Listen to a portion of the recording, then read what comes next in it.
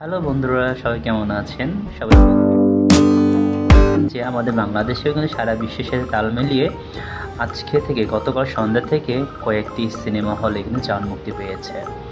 তো বিভিন্ন হল সূত্রে এবং বিভিন্ন সংবাদ মাধ্যমে দেখতে পেরেছি যেমন দেখার জন্য বাংলাদেশে শাহরুখ খানের যারা ফ্যান রয়েছে তারা কিন্তু অলরেডি সেখানে প্রি বুকের মাধ্যমে, বিভিন্ন ফ্যান ফলোয়ার্সের মাধ্যমে সেখানে কিন্তু নানান দিকভাবে দেখার একটা আয়োজন করে শাহরুখ খানের fan follower S S R K যারা ফলোয়ার্স আছেন বাংলাদেশে তারা কিন্তু সারা বিশ্বের মতো করে আমাদের দেশেও কিন্তু পিছিয়ে নেই। বিশেষ করে ব্লকবাস্টার সিনেমা সেখানে পুরো একটা হল কিন্তু তারা বুক করে ফেলেছে শুধুমাত্র জান মুভিতে দেখার জন্য।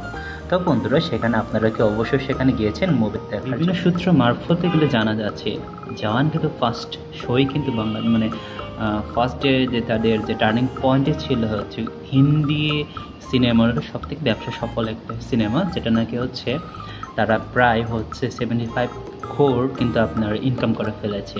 তামিল থেকে তারা ফাইভ কোর এবং তেলেগু থেকে ফাইভ কোর অলরেডি তারা কিন্তু মানে আয় করে ফেলেছে, যেটা এটাকে পাঠান কিন্তু আপনার পাঠানের যে আপনার ইয়ে ছিল, আয় ছিল, সেটা ব্রক করে শাহরুখ খানের পাঠান ছিল ইন ওয়ার্ল্ডের মধ্যে ফার্স্ট ডের যে আপনার ইনকাম সেটা হচ্ছে fifty fifty four crore but and আপনার সেকেন্ড টাইম হচ্ছে ছিল আপনার গাদ্দার যে আপনার ছিল ফোরটি কোর।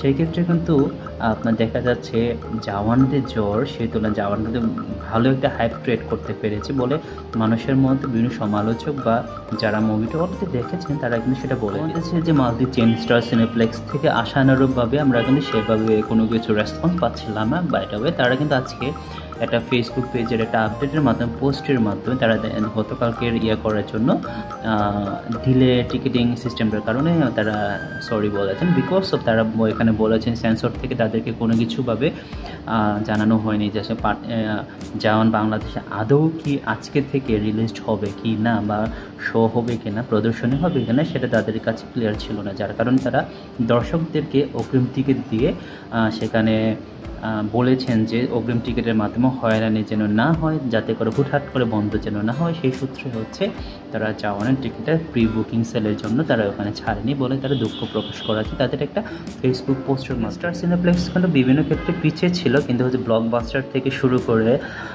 তারপরে হচ্ছে কেরানীগঞ্জে যে লায়ন সিনেমাস রয়েছে, তারা ইভেন হচ্ছে সিলেটের যে গ্র্যান্ড থিয়েটার রয়েছে। তারা কিন্তু কোনো অংশেই ফেসবুক থেকে শুরু করে ইভেন সিরাজগঞ্জের রুটস সিনেপ্লেক্স যেটা আছে হ্যাঁ রুটস যে সিনেস্কোপ রয়েছে তারা কিন্তু কোনো অংশে যাওয়ার যে প্রচার প্রচারণা থেকে কমতি ছিল না। কিন্তু হঠাৎ করে স্টার সিনেপ্লেক্স মাঝখানে এসে গতকালকে তাদের যে কোনো কিছু রেসপন্স ছাড়া দায়িত্ব জ্ঞানহীনভাবে একটা কাজ করেছে।